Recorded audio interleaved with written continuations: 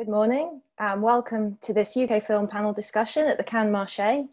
Um, UK Film have four panel discussions lined up this week and this is the third. The previous two are available for catch up on the We Are UK Film website, so do please check them out.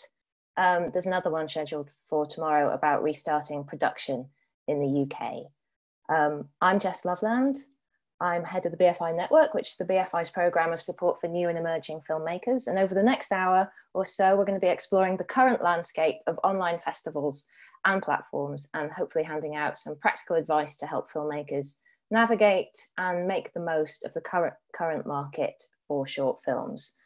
Um, you'll be able to see that we have a Q&A box enabled on your Zoom screens. I have lots of questions lined up for the panel. Um, but if you have any questions that you'd like to ask throughout the course of the conversation, please do drop them in the Q&A box and we'll get round to as many as we can in the second half of this chat. I have four brilliant guests with me here today. Um, I'm going to go around and introduce you all. If you could give me like a little wave or do a do a dance or something so that we know who you are, that would be brill. Um, first up, I've got my BFI Network colleague and founder of Bounce Cinema, Matt Ajan.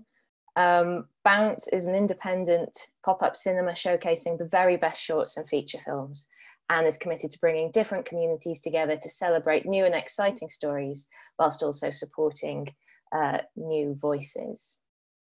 Um, then we have US-based strategist, publicist and producer Kathleen McInnis. Kathleen runs See-Through Films where she works to expand filmmaker networks, broaden and cultivate audiences and raise profile for both the films and filmmakers that she works with. And it's also some ungodly hour where Kathleen is at the minute in the US. So thank you so much for staying up to chat to us this morning. Um, Sydney Neter is also with us. He's a sales agent and president of SND Films, a boutique sales agency based in Amsterdam, selling award winning live action and animated short films, TV movies, and documentaries. And last but by no means least, we have Rowan Woods with us. She is film program manager at the British Council, where she specialises in international festivals. Rowan also works as a programmer, a moderator, and an acquisitions consultant. So I thought, um, now I've introduced everybody, I'll just keep talking while I'll just hog the mic. Um, but then you won't have to hear from me too much during the rest of the panel discussion. Um, I thought I'd kick off by just explaining a little bit about what we've been doing at BFI Network over the last three months. So essentially, BFI Network is um, the BFI's new and emerging program uh, for filmmakers. We uh, support filmmakers to make short films and develop their first features. And we also run a lot of professional development training and support. So I think we were very quick actually um, in March and April to move a lot of our delivery online. So a lot of our regular events like short film screenings, script labs, filmmaker one-to-ones, we quite quickly built an online framework where we can deliver those. We also set up uh, a new webinar series called BFI Network Live, which we've had a lot of fun um, developing and uh, using Zoom a lot over the last three months. We've had some um, great uh, contributors, people like Ben Wheatley, Desiree Akhavan, um, they've all been interviewed uh, for us and you can catch some of those now on the BFI um, YouTube channel. Uh, we're going to keep that going. We're having too much fun with it. So I think that's going to be a post-COVID um, operation as well. Um, we've ramped up all the content on our website. We're um, trying to feature as many new and emerging voices as possible, hear from all sorts of different filmmakers uh, and partners across the UK and internationally. And we set up a 90 second short film challenge with partners at Watershed, Depict, and Encounters Film Festival. So, um, right through April, May, and the start of June, we were encouraging filmmakers to make 90 second short films in accordance with government guidance of social distancing and all of that. Um, and yeah, we've got a really great uh, archive now of brilliant films that have been shot during lockdown. We hope to feature those on the BFI player shortly. Um, I mean, that's a quick whistle stop tour of the sort of support we've been trying to offer to filmmakers during this time. But I wanted to start by um, asking Matt a little bit about how, with his network hat on initially, initially how he's been working to provide continuity for filmmakers through BFI Network and Film London. Nice one, Jess. I feel like you gave the most amazing introductions as well. So, sending you a virtual high five. Thanks, but of course, at the moment, you know, it's, it's very special times for a lot of filmmakers and for the film industry in general. So, I guess our objective at the BFI network is how can we support filmmakers to increase their visibility and help get their work seen? But also, alongside that, navigating the short film circuit can be challenging in itself. So, we've been doing lots of webinars teaching people how to distribute their work and we had something recently with Jason Sondhi from Short of the Week, which was really interesting. But the filmmakers, they've you know they've got a lot of questions. Is this the right time to be to be releasing their short film? Should they be doing releasing their work by themselves? And we've just been an ear really through the BFI network and helping filmmakers understand that it's important to know your intentions. What what is your objective with your work? Um, who do you want to see your work? And of course, at the moment, because there's so many opportunities to go online, doesn't mean that right now is the best time and it's just you know being an ear and providing expertise to our filmmakers so yeah Listen. And how, how have you been advising? Have you been, is it sort of a case by case basis? Is it looking at the filmmaker and the film and sort of judging it that way? I think definitely every filmmaker has a, you know, different ambitions. So again, it's what's important to the filmmaker. Do they want the first time their film is seen to be in a physical venue? And, you know, cinemas are apparently working towards reopening. So is there a massive rush? But from my perspective, I've just said to filmmakers, yes, apply to festivals. This is a perfect time to be reaching out to people because everyone's sat at home. So they're, they're more likely to be more responsive. But it's a jungle on the internet at the moment. So if you are going to release your, your work, be intentional. Make sure that it doesn't just get lost in the crowd. How can you yourself as the filmmaker be creative with your release strategy? What images do you have? Who, who do you have in your network that could amplify the work you're trying to release? So if you are going to release your, your work online or your short, don't just rely on the festivals as well. Make sure you use utilize your network and reach out to press and individuals. So that's the advice I've been sharing with our community. Yeah, that's really brilliant advice. Thanks, Matt. And with your other hat on, your bounce hat, um, could you tell us a bit about how how you work with shorts and short filmmakers and develop audiences, um, and maybe how that's changed in the past few months, and any plans that you have in the future to support films and filmmakers throughout 2020? So it's it's definitely been a special time for Bounce because we've seen our organization as like you know cinema purists. The physical experience it has to be offline.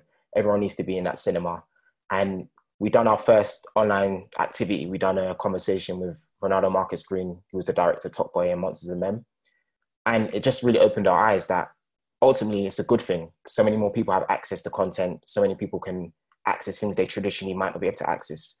Not everyone has the resources to go to major film festivals. So for us, it's been a big learning curve. And I think even for the industry itself, in terms of developing audiences, people engaging with organizations they might not traditionally engage with. So I think the work for us has remained the same at Bounce because ultimately we want people who might not think this might be for them in terms of short films or particular strands of independent cinema to think, okay, why not? Let me live it. Let me give it a go. I don't need to leave a house. I'm sat at home in my boxes, I can just watch this and see if I like it. And then maybe next year, these might be you know new audiences that will come to our physical activity. So overall, it's been a good thing. Yeah, you've seen it as an audience development exercise. Yeah, yeah. that's really interesting. Thank you, Matt. Um, moving on to Rowan, um, could you tell us a little bit about um, how British Council um, works with shorts? under normal circumstances um, and how you've had to adapt the ways you're working in response to changes uh, to festival delivery over the past year. Yeah, hi Jess. Um, it's really nice to be here. Um, so the British Council is the UK's um, cultural relations organisation, and what we do, everything that we do, is about trying to find opportunities for cultural exchange, but also to um, get UK films and filmmakers in front of international audiences. So to that end, um, probably the main um, uh, our main program, our uh, most popular program, is the um, travel grants um, that we run in partnership with, with you guys at BFI Network, um, which is to provide travel funds to filmmakers who've been who've had their work selected at key international film festivals. Um, we've got about 50 or so film festivals that are that are our key film festivals. Um, that list can be found on our website, and so if you get into one of those 50 film festivals, um, you can get a grant that's anything from a couple of hundred quid for a local EU film festival to um, you know over a grand if you're going somewhere like Sundance that is a lot more a lot more expensive. Um, and this um, this service isn't just for UK filmmakers; it's also for any films that are made in in the UK. So um, you know if um, students have come come uh, from from abroad to, to, to, study in the UK and are making their work here, they're also eligible for those uh, for, for, those schemes.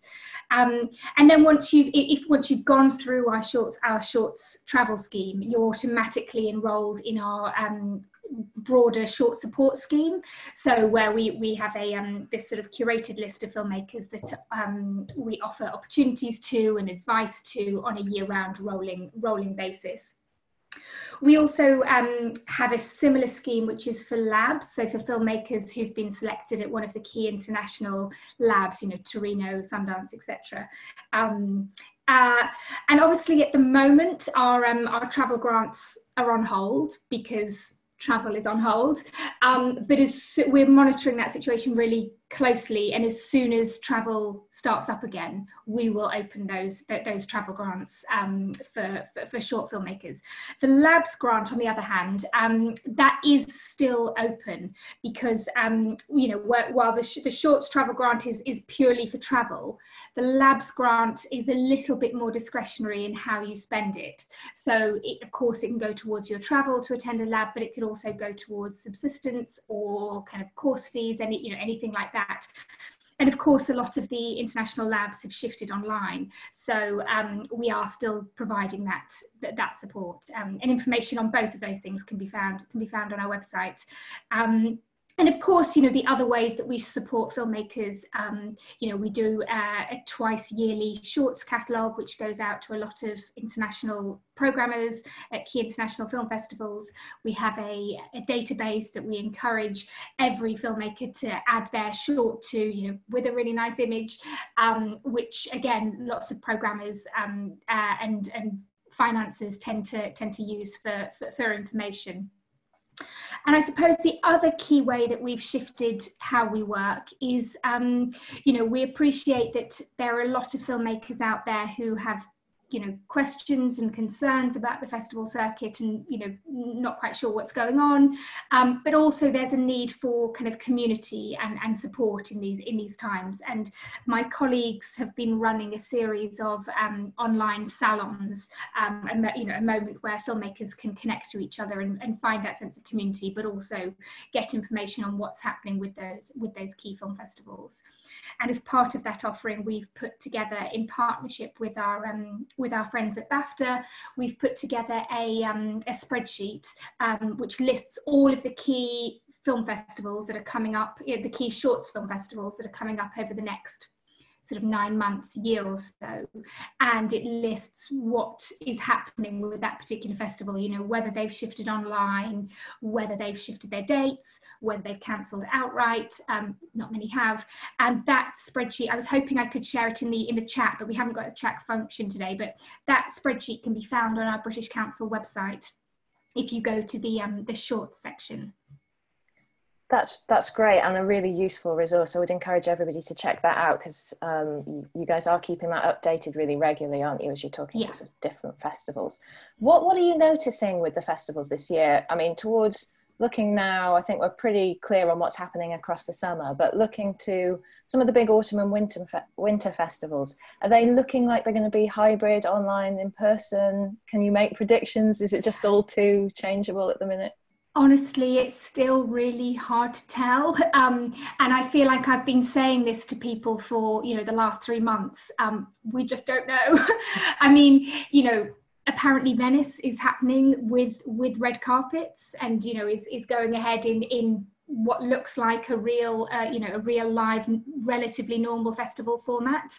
Um, but you know we still don't know what's happening with toronto. They'd uh, announced maybe a month or six six weeks ago that they were looking at various options you know one of which was it was a hybrid model um, I know, um, you know, New York Film Festival have also been looking at hybrid models, um, you know, maybe looking for outside uh, screening options.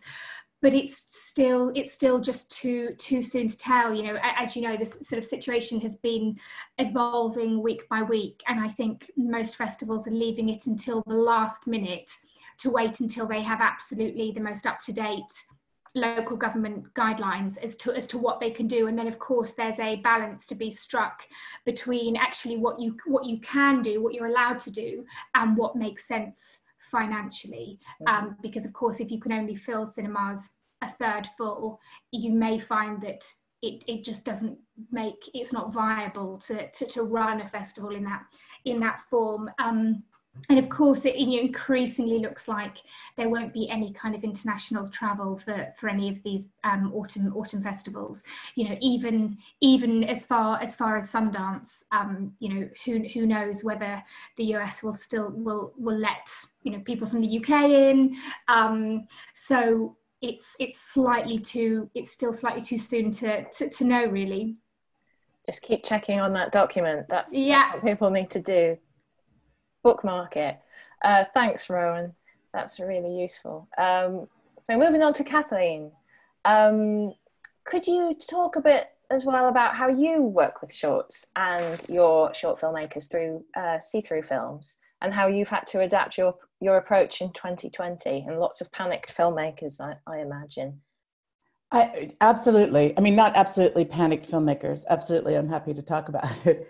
Uh, so my what I do is really geared towards the filmmaker. So I work with emerging, so shorts, first and second features, uh, world cinema filmmakers. So everybody usually outside of America, and um, I really the the bulk of what we do and what I do is to help them merge their creative and business development on the film festival circuit. So if they're trying to use their short film, for example, or even their first or second feature as a way to really profile and establish and determine their own voice, their own style, their own place within the industry that they can move forward from. That's what I help them do. So, in a way, nothing's changed. I mean, I'm still doing that. I'm doing it with a lot more filmmakers. There's a lot of filmmakers out there who are like, okay, this is a time where I, I want some conversation or I need some help or let's work together. So, there's just more right now. Um, you know, as everybody said, I think the key takeaways so far are community, first of all. Um, I just, in fact, started a, a private Facebook page for filmmakers only, literally called Filmmakers Only, just so I can start to like throw out some information to a bigger group at a time. Um, so community being super important, this audience development idea of how do we, how do we look at audience now? I think that filmmakers have, especially short filmmakers, have different needs at the moment for their films. And while you might not be able to look at it the same way we did four months ago, there are other things that can come from playing uh, in a festival right now, whether it's a hybrid or online. And so we talk about how those can, what the advantages are to doing that, how that can help your goals and expectations. And I think also too, this idea of keeping an eye on the festivals and what's happening. You know, Toronto will announce today what they want to do with their festival. Um, I'm pretty sure, from what I understand, it'll be a hybrid of sorts. Rowan's point's really well made. You know, as of right now, Europe's about to put the U.S. on a no-fly list, uh, which we had stupidly already. Oh, I'm sorry, no editorial, which we had also already done. Um, who knows when we will get to start to fly again? So now the question becomes, how can you make use of this experience knowing you're not going to be in person trying to connect with somebody. I actually think, especially for short filmmakers, I actually think there's some advantages this way. I actually do think that we can make that be uh, a bonus for them. And how are you broadly advising people? Are you, are you is it a case by case basis? Um, like Matt was yeah, saying, we do it. We do it. Uh, or let's. I say we because I'm. I always think of see through films as we, but for the most part, it's me. Um, but my process is to say, okay, what are your goals and expectations? What do you want the film to do for itself and for yourself? And then don't just look at this film, look at the next film as well, whatever your next film is going to be. And then let's target where you can have those goals and expectations met in the best possible way. And then let's look at the film and that festival and how that programming goes and talk about whether or not that's a place where you are able to not only get the film in, but make the most use of it. So it's very targeted and it's very individual, but it also has some generalities about it that you know every filmmaker wants. Brilliant. Thanks, Kathleen. That's really, really useful advice. Um, Sydney, moving on to you. Um, from the perspective of a sales agent, how have you found the landscape this year for festivals and platforms? Um, I was just thinking about things like the in-flight entertainment market, which I'm sure is pretty dead at the minute. Um, have have uh, markets like this closed off, but others emerged? What's what's it looking like out there at the minute? Yes, hello everyone. Um, uh, yeah, I have to say the in-flight markets have been going down uh, massively. Well, it's not a not a surprise, of course, because hardly anyone is flying, and it's slowly starting again. However, um, I had some deals in uh, the beginning of this year, and they were not cancelled completely. Uh, some of them were actually just postponed. I mean, you know, there were deals that would start in May, for instance, and now they're uh, aiming for a start date in September or October or even later.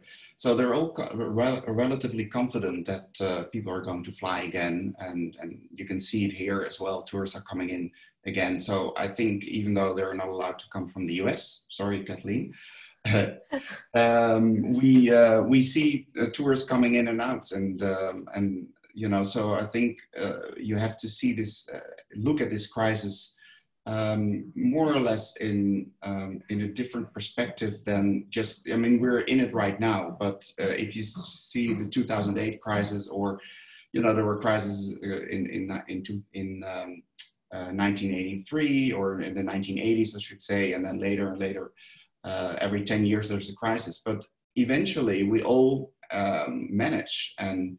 I think the film industry has also managed. I mean, this one is really bad because of the theaters that are not uh, hosting uh, more than uh, 30 people right now, and they were closed, of course, be beforehand.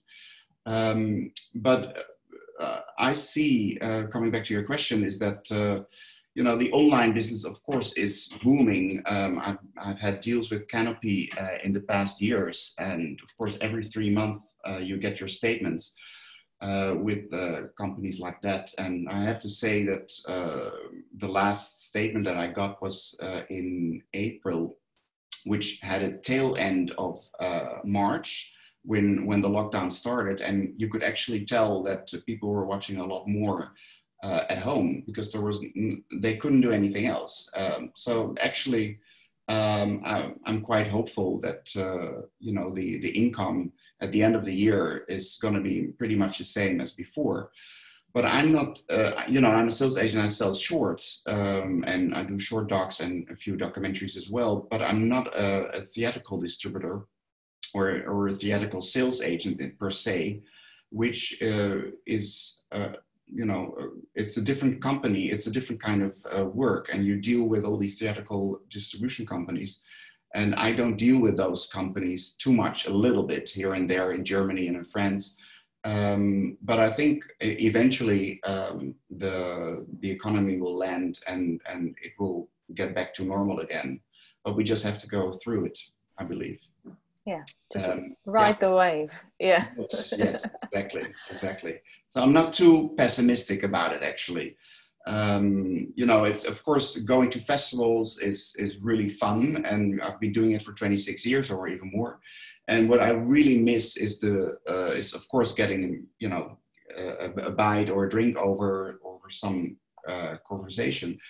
Um, but the what you don't get online, I mean, I don't get it so much, is a buzz. There's no, uh, Kathleen can probably say more about that, but you know, it's all about a buzz usually during a festival. Which film is uh, did you like, and and you know, there's and there's not not any spontaneity, spontaneity uh, there, and um, that that's something that online cannot um, uh, fix, in my opinion so that's really too bad. Uh, you know so i think we have to get back to normal again as soon as possible with or without a virus.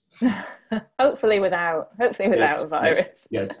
Um, so would you say that broadly the appetite for acquiring shorts right now is is increasing because of every because of people um, i wouldn't online? say that. I mean that's a question i got 10 years ago as well or, or even 20 years ago with uh, with the when the internet booming. Um, i think it's been pretty much the same. Um, you know it's just an appetite for films in general.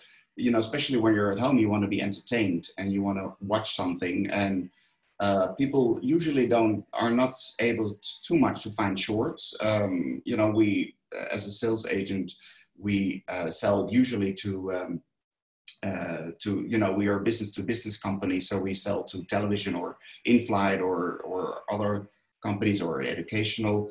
But we decided two years ago um, uh, with other sales agents to have a, um, a youtube channel called kiss kiss. And we uh, we started with only a thousand subscribers but and it's free for everyone of course. Um, but now in the last uh, 40 um, in the last uh, three months, we it has spiked a lot um, the numbers. So right now we're at uh, one almost 180,000 subscribers, which is a lot for a short film channel. And um, you know we get a little bit of money out of it, not a lot, uh, depending on where you are in the world. You you know you get uh, uh, money per click, and depending on how many ads there are on uh, around your short as well. But at least it's a short channel that is, um, um, you know, curated by us, and uh, so there is quality there, which is good.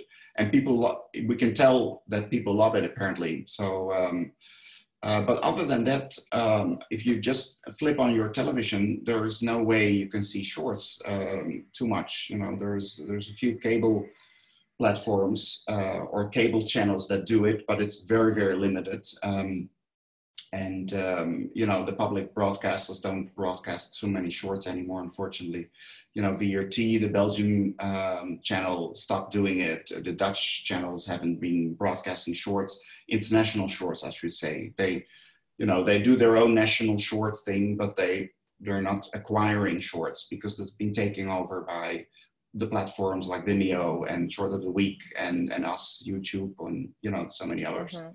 yeah. yeah. So that hasn't um, that has changed a little bit but we still do exclusive deals. I mean it's probably going to be your next question. You know with the um, uh, there that hasn't changed too much. I mean we still sell to canal plus in uh, in, um, in in Poland, uh, France is sort of over right now for international shorts. We um, the lady who start who used to work there, well, she's leaving on the first of July, and it's not 100% sure yet, but it looks like the international shorts are over at Canal France, which is really unfortunate. And they were the, the ones that would buy acquire, uh, uh, exclusive rights for a year. Um, and the same for a Movistar in Spain. They buy still buy exclusive rights uh, for television, for pay TV. But, and so they don't want the film to be online, but they cannot be so rigid right now. So they told us, you know, if we buy, buy a film, you can still have your film at a festival and if they're online, which is happening all over Spain, of course, uh, and all over the world, we are okay with that. So um, they that's good actually. I mean, otherwise you would lose money and they wouldn't be able to buy any films anymore because most of the films are going to be online. Mm. And do you think things like Quibi are changing the landscape? I mean, it's very new. No, I don't think so. Well, I, I also heard there it's one of the lousiest uh, startups uh, so far. Um, but besides that, uh, I've seen their programming, and it's not the kind of films that we are promoting and selling. You know, we usually, I mean, I don't tell people I have artistic films, but we have short films, not short series, for instance. But it's, um, you know, we usually have films with a, a beginning, middle, and an end. Um, well, not always, but we usually do. And it's not the kind of films that they are looking for, as far as I'm concerned. Um, so I'm, you know, for us, it's not a, um, another platform that we can sell to, unfortunately. Would it be nice if they are, were opening up to our kinds of um, well, don't forget that it's a lot of work for them, for programmers, to find films that we are selling. Um, you know, that's why it was in the old days, the public broadcasters were always happy to do it because they had the resources. You know, they had one shorts buyer, and the only thing they were doing is, is finding short films uh, from all over the world. And, um, you know, so Quibi, I think they're mostly uh, producing and um, trying to find um, uh, another way of promoting short content and not short films like we are selling.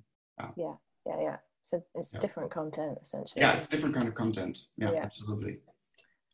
Thanks, everybody. So I think I've gone round the houses now. So um, open it up into a more general conversation, if that's okay. I've got we've got some questions coming in, which is brilliant. I'll jump into the Q and A box in a minute.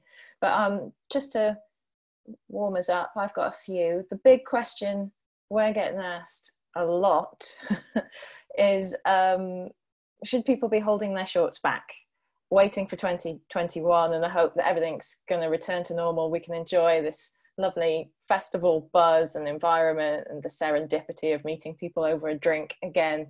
Um, do you think we're going to get back to normal? Uh, should people be waiting or should they be um, you know getting their film out there getting it in front of audiences however they can and then thinking about their next film can i is it okay if i jump in?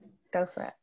So i think that you have a lot of moving pieces moving parts to that question that you have to answer. But in general as you're making that evaluation i think there's i think it's important to remember a few things.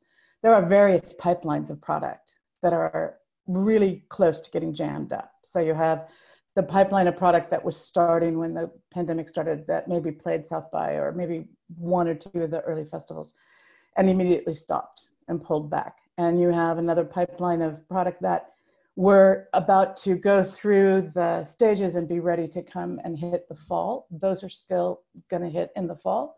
And then you have the ones that are suddenly hurriedly, hurriedly trying to get ready to go, trying to look at the calendar so to wait for something when we have no answers, which we have no answers. So to wait for something to happen in 2021 and to hold your film back is a, is a risk. It can be a calculated risk, but it is definitely a risk with regards to how much other product is out there, how many, other films you're now in competition with, what your sort of what your needs are for that film, what you need that film to do. And with uh, I think Rowan was saying earlier, some of the festivals are waiting until the very last minute before they have to decide how they're going to go. And so, if you haven't made your decision already as to whether or not you can take advantage of a potential online only screening, um, I think that it, there's a little bit of danger in saying, I'll just wait until Sundance Berlin, I'll just wait until Cannes next year. You know, I don't necessarily think waiting is a good idea unless you're fully prepared to understand what those consequences might be for you in the film. Yeah, no, that's, that's good advice. Does anybody else want to chime in on anything related to that? Yeah, I can say something. I, I don't think waiting is a, a pretty good idea either because you know you first of all you don't know what's happening next year. Um, things might go back to normal, and then there will be maybe an overload of films and then you are uh, competing with films that are actually uh, brand new.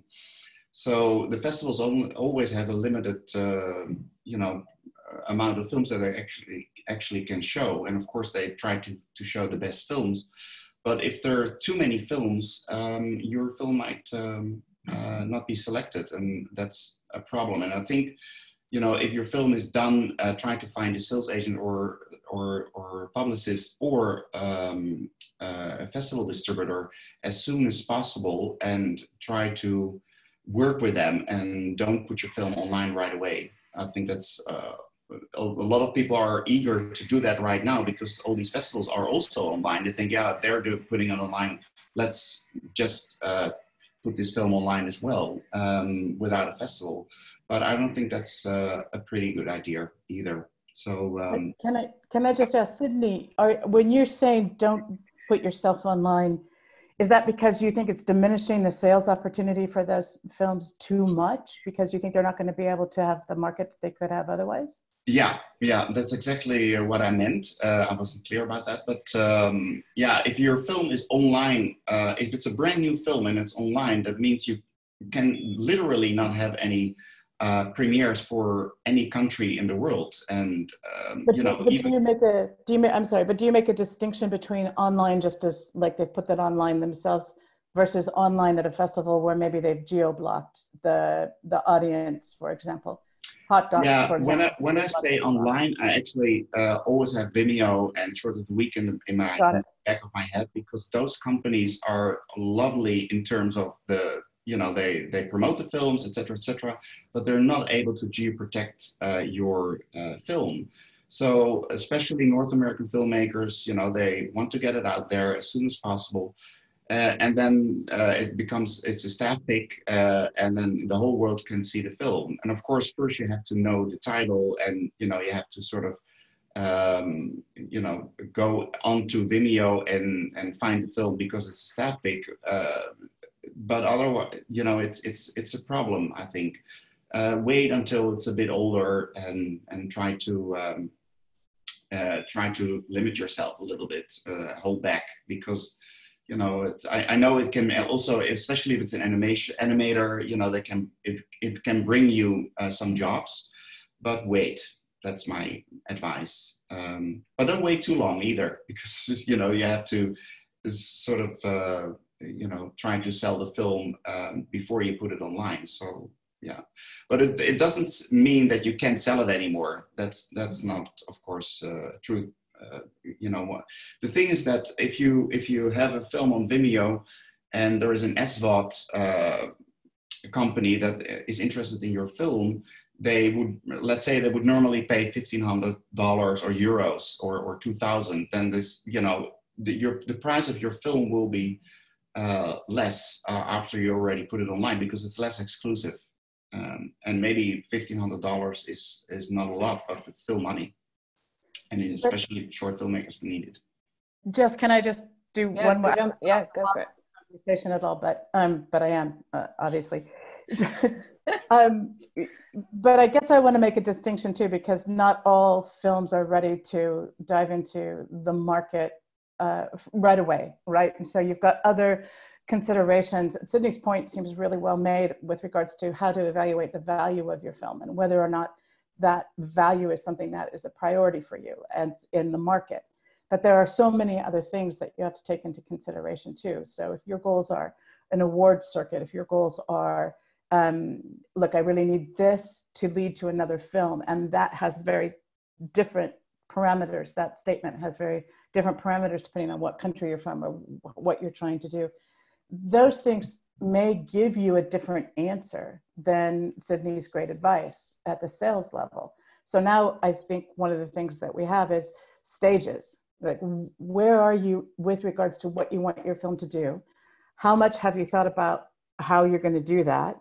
And then, where in that sort of future forecast are you finding the stages that can work the best for you for your film? And maybe sales come a little bit later. You have to be aware that you're going to not be able to do some things in the beginning, so it doesn't affect that, which I guess comes down to consequences. Being aware of the consequences of all of your actions now with regards to what your goals are later, if that makes sense.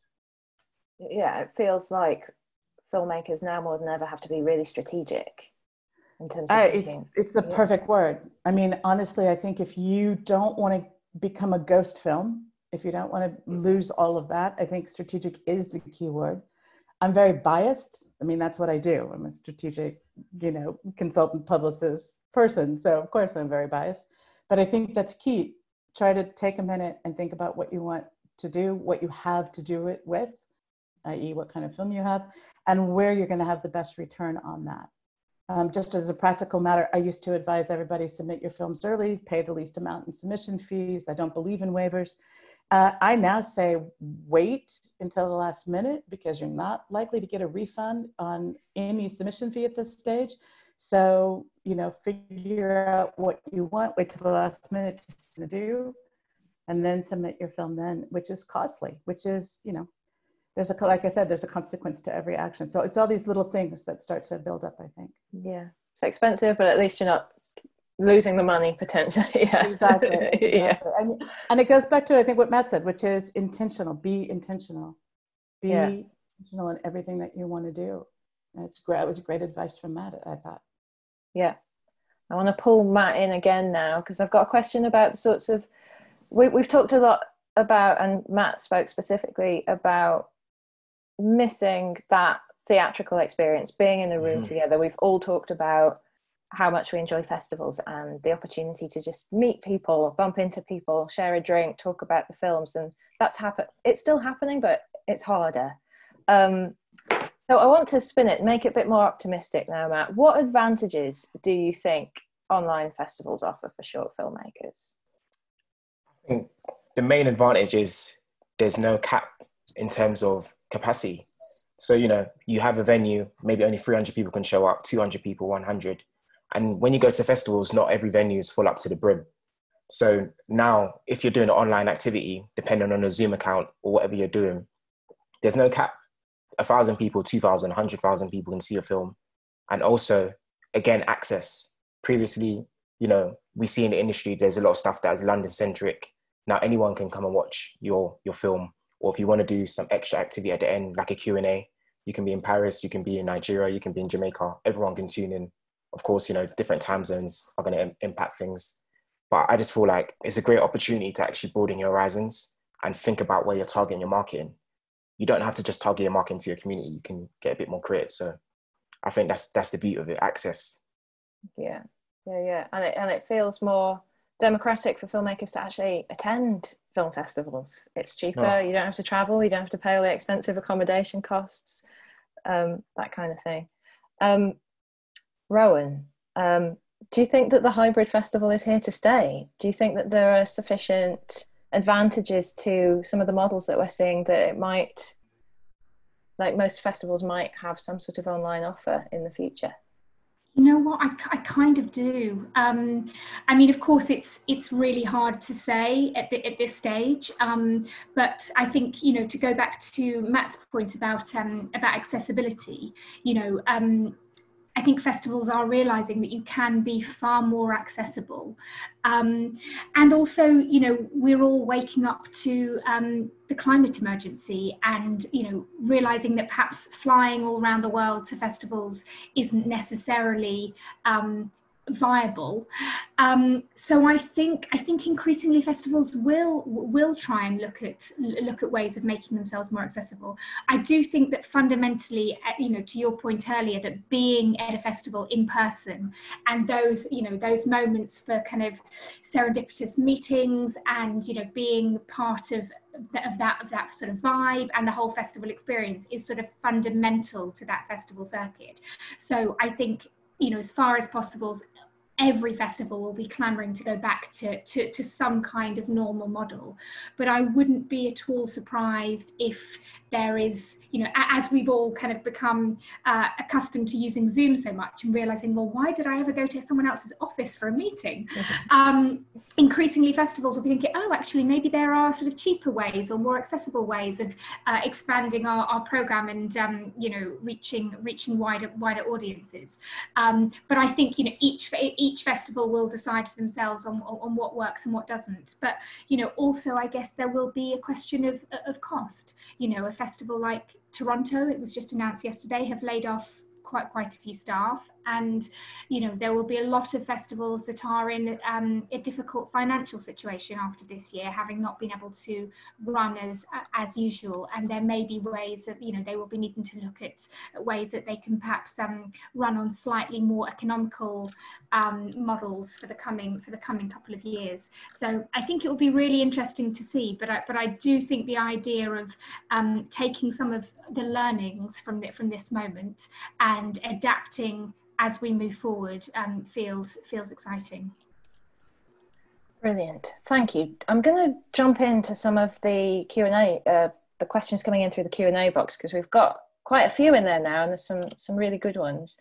Um, we've got one here from Kate Separovich, who's asking um, Kathleen and Sydney what they think are the major opportunities for shorts at the moment. Sydney, or do you want to yes. go first? Yeah, okay. we. I can. I can say something. Um, it's. Um, it, it hasn't changed so much in the you know like in the last 10 years it's it's still Uh, the, well, I would say the platforms that what what's recently been uh, really good for us is uh, I think I mentioned that before is uh, the educational uh, sales actually all around the world um, because you know colleges universities they all need materials and they don't always buy feature or our docs. I mean that was the original originally they always bought those films, but for uh, for the last couple of years, uh, the short, not just short docs, but short live action, short animation, um, um, they work really well for um, for the educational sales. So uh, that's one of the best things. So go with a good platform um, or company in the world. And uh, I work with Kanopy, but there are others as well. Um, and they do public libraries uh, too, which is also going uh, more international now. Um, so that's really good. I mean, I used to say in flight, but I can't say that anymore. um, and um, you know, the theatrical sales were always pretty good too. Um, if you know, I work with Interfilm and Kurzfilmagentur in Germany, for instance, and they always do a really good job in the German-speaking territories um, you know, per film you get between, let's say, 200 to 600 uh, euros a year, uh, depending on the film, of course. But the film needs to be short, like five up to five six minutes. You can you can't have shorts that are too long for because they're preceding a feature usually. So um, you know, the question is, it depends on the short as well, where it goes to. The, so you can say, where does my short sell? You know you need to know what the short is like if it's a short doc or if it's animation if it's long if it's short short short. You know some of the longer shorts over 30 minutes they usually don't sell very well but if it's lgbt for instance then you have a whole different area where you can go to.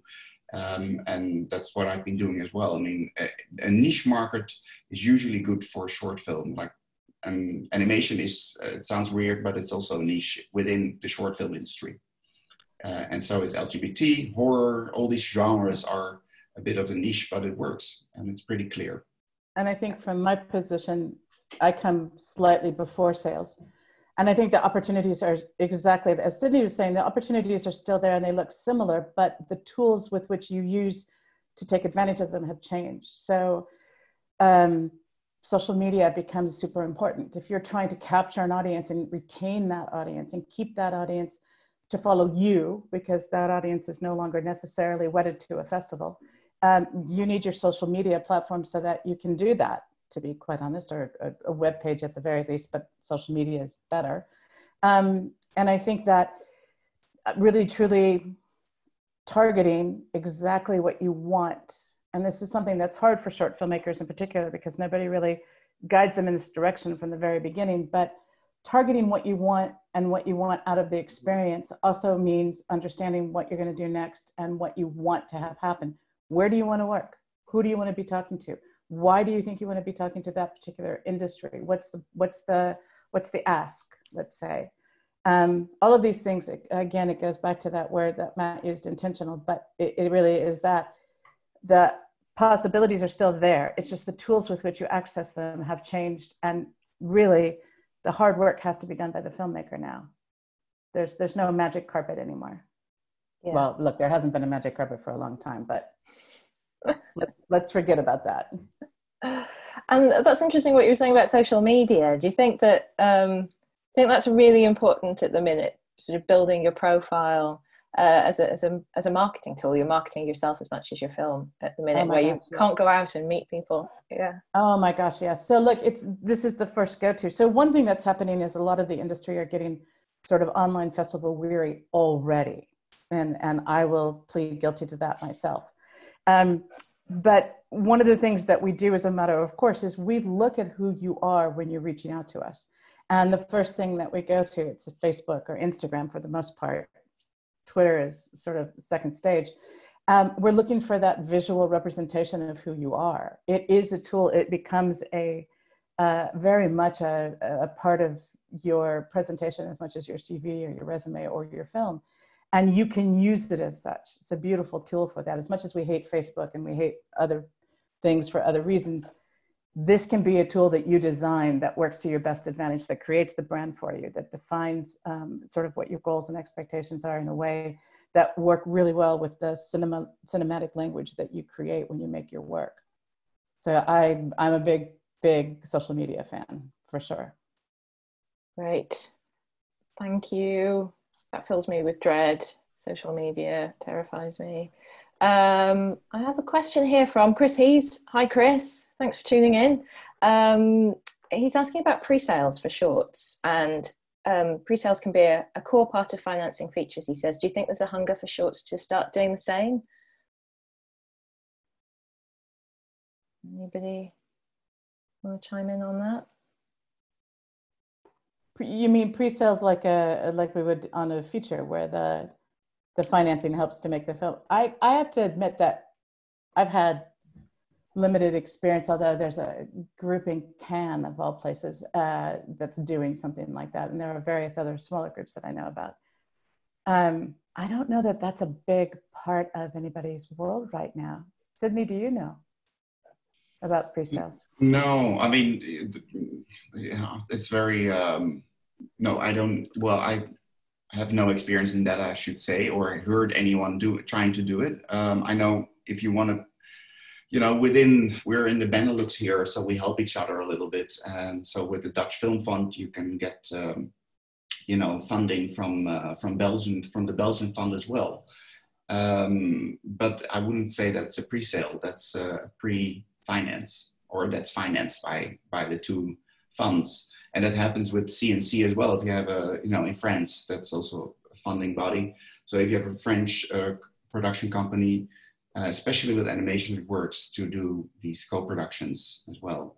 But, mm. but I think not that, a pre, not, not I think on features, it's it's, it's quite strong. Yeah, yeah it's yeah, well, yeah. it's not only standard. I think it's actually become quite strong. So um, a lot of people on features will find sales agents, uh, strategic publicists like me. We all want to get in earlier and earlier and earlier. And some of those people who want to get in earlier in the process, like I come in on development in a number of projects um, some of us can bring money to the table. So that kind of co-producer kind of pre-sale maybe is something that can be that you'll see a lot more right now. For shorts, I don't think so. Though. Oh well, I shouldn't say I don't think so. I just don't know. I think he's mentioning here. I think he has an example of a film that he's produced, a short that he's produced that got support from a sales company early on, based on a on a previous short film that the filmmaker had, had made. And I think that he's saying they came on during final stages of development and uh, mm-hmm. managed to secure a pre-sale in France for them. So yeah, it's unusual, isn't it? But yeah, doesn't sound and, and I think, special. Mm. But I think it heralds something. So everybody, I think he's actually on the cutting edge, so to speak. Everybody wants to get something that nobody else has gotten yet. And if you have proof of the pudding, so to speak, by by virtue of having an earlier short that did really well, or you have already proved your your pathway to audience is huge because you you your films speak to the human condition that way and you can go global then a lot of people are going to want to be interested in jumping onto the next one as soon as possible and if that's now trickled down to shorts i get it i get it i don't think it's going to be big yet because the market's going to it's going to be a hard market to bear at that point mm-hmm. but i understand the urge for people to want to get in and get that film and be identified with that film as fast as possible. Look, it all comes down to profile, right? Mm-hmm. We all we're all trying to drive our filmmakers to high, the highest profile for their benefit, but also for ours. You know, we're not. It's not. We're not altruistic that way. No. Um, that's really helpful. Thank you. Um, just having a look through some of these questions that have come in. Um, We've got one here about whether sales of short films are possible without a strong festival presence first. Maybe one for you, Sydney.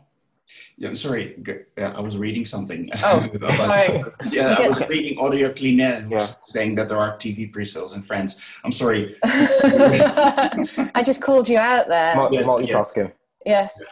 Yeah. Um, it's about sales of short films and whether they're possible without um, a strong festival presence first. So if people are maybe oh yeah. yeah absolutely yeah yeah yeah well I've had many examples of films that are, that didn't run at festivals at all mm-hmm. Or slight or a little bit and they were selling really well it really depends on the film so you don't have to go to festivals all the time I mean of course it helps if you get a big mm-hmm. award but not all buyers are interested in uh, a big award. They, you know, if the film is good um, for them, then they buy it and they don't care about the awards. I mean, of course, they all sometimes they ask for it, but I have examples of these very very tiny little shorts that are two three minutes long. They don't win huge awards or they don't play too many festivals, and they sell really well because it fits the buyer's uh, needs. So. Mm-hmm it's it's not of course it doesn't mean that you shouldn't go to festivals and shouldn't uh, you know uh, uh, get them uh, in in there um, or even uh, shouldn't get awards but it's great to get awards and get money for it as well by the way and uh, recognition um, but it doesn't mean that you can sell your film if the film hasn't been at the festival that's Great. the short answer that's the short answer that, that's really mm-hmm. helpful thank you yeah yeah. And maybe one for the panel generally. Um, are you going to more festivals at the minute because you're not physically going because you're just logging logging onto them? yeah, right now there is um, uh, all these festivals are suddenly happening at the same time, like Cannes Film Festival, Annecy, um, which other one was happening, Palm Springs. So it was too much, I think. It was all happening in one week, and you can't keep up with them. And you're, you know, I, a friend of mine said we're not jet lagged anymore, but we're Zoom lagged. Um, yeah. so that's that's a bit of a, an issue right now. Uh, you know, when you're physically at a festival, it seems like your brain works differently. You're focused and you're concentrated, uh, and you know what you're doing. But if you're just sitting in front of your screen, like we're all sitting now, um, you know, you don't have distractions besides doing the laundry. But um, you're not completely focused. Uh, I noticed, but maybe yeah. it's only me. No, you know, just to build on that, there's just there's so much to pick from. Yeah. And I think sometimes you can schedule so many things and you just realize, wow, just I just missed that. But from my own personal experience, I haven't been going to more online festivals, but I might just see something floating on social media, click on it and jump in. And it's just individuals setting up their own things. So I feel like it's not more about the festival, just more about the programming. If there's something interesting enough, then I think people will show up. So it just comes down to great programming and how people are selling the activities they're doing. Yeah. I personally find it harder to carve out the time. As Sydney says, you know, if you go to a festival in person, you know you're there for three days, five days, and you can really immerse yourself in it. But when I'm trying to juggle it alongside my various other commitments and my various other jobs, um, you know, I always think, oh, I'll go and watch something maybe later or maybe tomorrow. Um, so I'm finding it harder to really um, get myself in the in the zone and focus on it. I, I feel the same way. I think it's a zone thing for sure. And it's easier to be in the zone when we're physically at those festivals. Um, and I think that the idea of uh, programming, like what Matt was saying, programming and curating really becomes more and more and more important as, as we try to make these decisions and make these choices. And how the festival presents, like the, it, it's exactly, I have the same problem that Sydney has, which is Palm Springs, Annecy, and Cannes all at the same time and trying to, first of all, how easy it is, is it going to be for me to get in somewhere? Uh, I love that Matt says he looks on social media and is able to jump in. I haven't been able to jump as easily as he is. I need to figure that out. But Thank you. I'm gonna do it. I'm gonna send you a note after this and go, how did you jump? but but it is. It how easy did the festival make it for you? How how simple was it? Um, and then you prioritize. But if I see strong programming and curating, or I know strong programming and curating, I might choose that first, you know. Absolutely. I, th- I, think, as you say, for me, something has to feel really unmissable in a way that if you're there in person, perhaps the bar is slightly lower and you're more willing to take to take risks on a filmmaker that you don't know or a film that you know could could be interesting. Whereas when I'm at home, um, I find I can only really carve out the time for something if it really, really feels like an absolute must must see. Mm-hmm that's the yeah everything's changed so quickly in just a few months. I feel um we're running out of time and i feel like we've only just really sort of sort of broken the surface of this. Um so i'm going to wrap up now. Thank you all for all your amazing questions. Thank you for tuning in and staying with us. Thanks to all the brilliant panelists. Um i believe that this recording is going to be made available and archived later on the we are uk film website. So um, share it with your friends um, if it's been useful to you. Um, there are other sessions available throughout today. There's one immediately after this. You'll have to be quick called Branding Yourself and Your Projects, which is um, presented by IAVE that could be really useful for short filmmakers. And then um, I'd encourage you just to dig into the online program of talks at the Marche here over the next few days.